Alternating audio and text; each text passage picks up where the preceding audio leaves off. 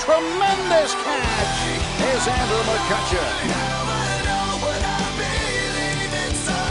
It is an opposite field home run for Garrett Jones. Two home runs and two at bats on opening day 2010. Here's the payoff pitch. Swing and a miss. He struck him out.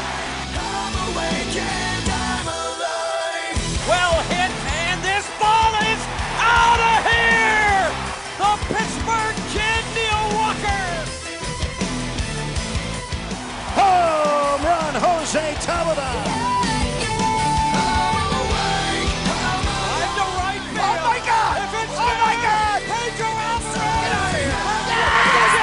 Wahoo! Pedro Alvarez has won this game.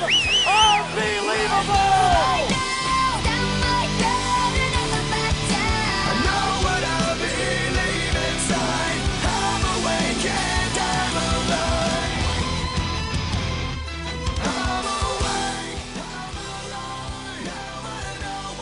The first batter for the Pirates will be the left fielder, number 31, Jose Tabata.